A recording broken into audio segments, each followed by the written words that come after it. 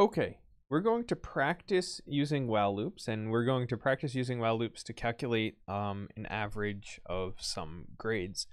So this is the program that we're going to write. I'm going to start just by running the program so we can understand how it works. It asks us to enter a grade, so we'll enter 100 and then uh, it says, are there more grades? We say yes, we want to enter more grades. What's the next grade? 50 more grades. Nope, that's enough. Um, and the average is 75. Okay, great. So let's uh, let's build this from the ground up because it's a little overwhelming to look at the whole thing at once. So we're going to clear all of this, start back at the beginning. So the first thing we want to recall when calculating an average is that the average is the um, sum over the number of items. Um, and we'll see here that sum is highlighted in orange. So whenever you see something highlighted like this, it means that it's a uh, it's a keyword, it's a reserved word that's already been used up by Python. So we don't want to use that as our variable name. So we'll instead um, call this the grade sum. And number, number of what in particular, the number of grades. Okay, great. So eventually when we want to get to the point where we're going to output this, which is going to represent the average of the grade. Now, we don't know exactly what to do next, so let's just start by saying, okay, well, we've got variables here. We need to make sure we declare our variables. So we're going to do that first. So the uh, grade sum starts at zero because we haven't entered any grades. And similarly, the number of grades is going to um, start at zero. Now we're going to uh, do a couple things. We're going to ask the user to input one grade at a time. So let's create a variable for that. We're going to ask, we're going to be asking for a current grade. Right now there's no current grade, so we'll just make it zero. And we also asked a question, does the user want to input more grades? And they could either type yes or no. So we'll start by adding another variable for that, more grades, yes it will be the default answer. So by default, we're going to say the user does want to input more grades. Okay, great. So um, we let's let's first just figure out how we can input one grade. So we have this current grade variable. Um, and we want to ask for input from the user. So we're going to um, get input and we're going to ask the user to enter a grade, a grade. Um, and every time they enter a grade, we want to be sure to that the number of grades is increased. Number of grades plus one. Okay, and after we enter a current grade, we also want to add that current grade to the grade sum, right? Because every time we enter a grade, we're going to um, add it up. Current grade. Okay, now I, I don't want to go too far because I might have made a mistake in my coding here. So let's just run this and see where we're at. Okay, it says enter grade. I'm going to enter a 75.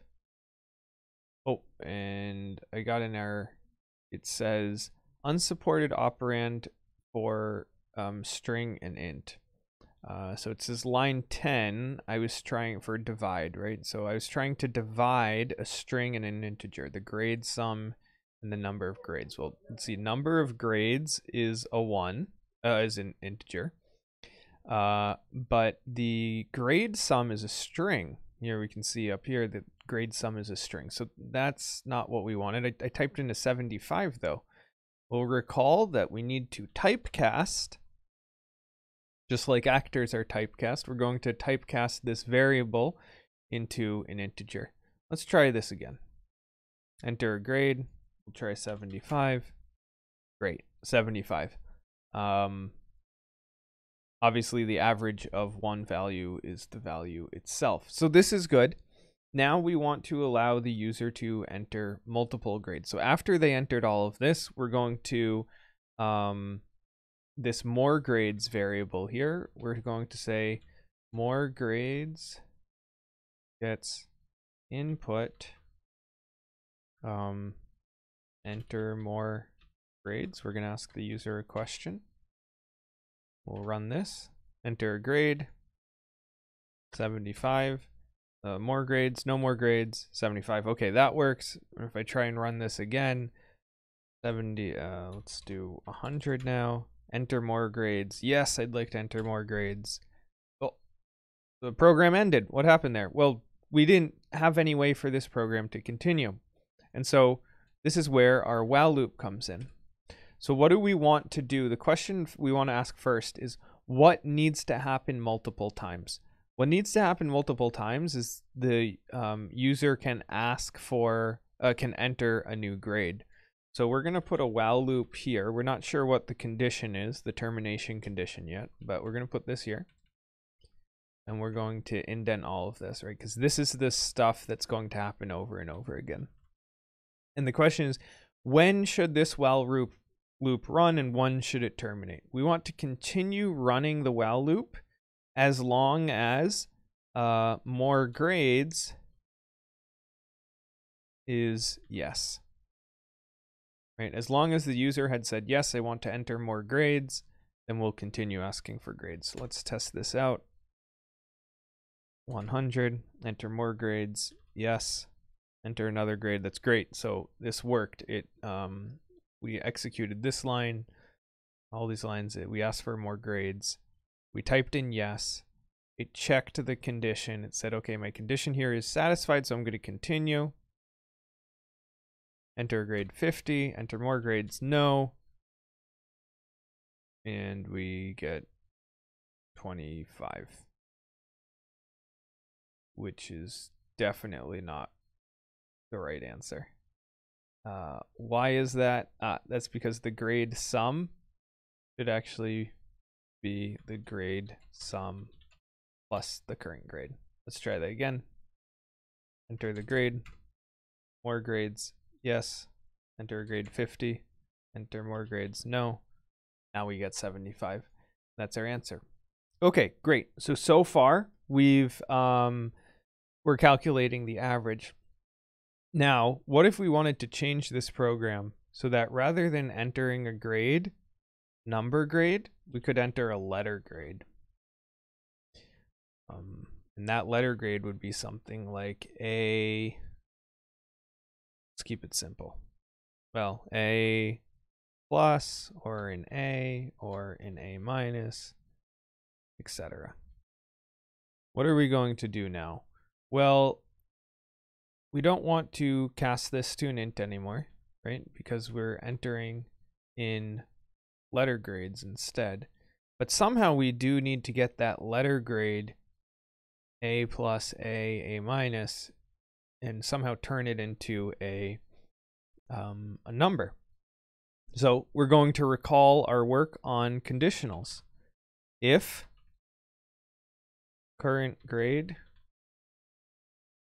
grade equals a plus, oops, a plus, then we're going to use the mutability of our variables. We're going to say current grade gets 4.0. Okay. And now we say elif, else if the current grade equals A. I think that's also a 4.0 actually.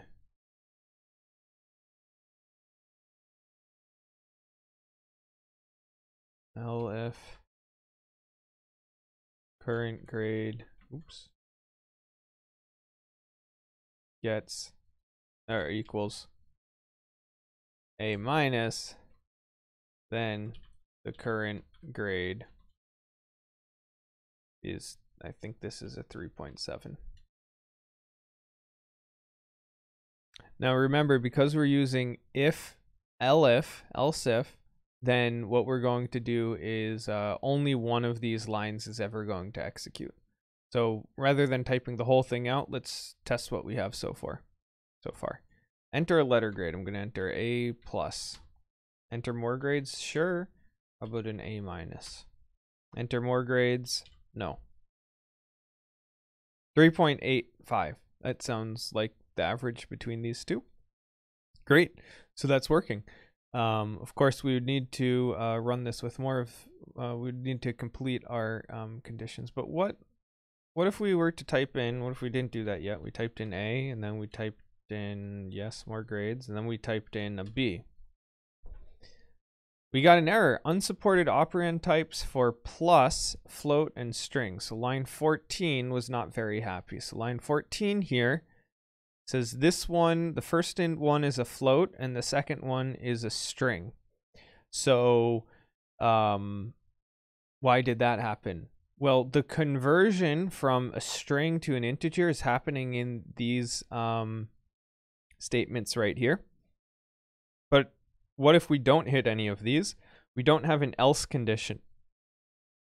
Right, so we could say else here, and then this would catch anything else. And then maybe we print out a warning.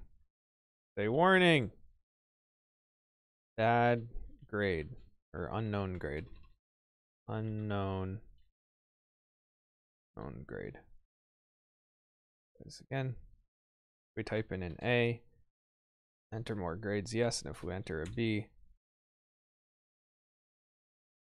we still get our error, but we also got the error that we wrote, warning, unknown grid. So we can know why this happened exactly. So uh, with more advanced code, we could even prevent this from happening entirely, but we don't really care about this in this class.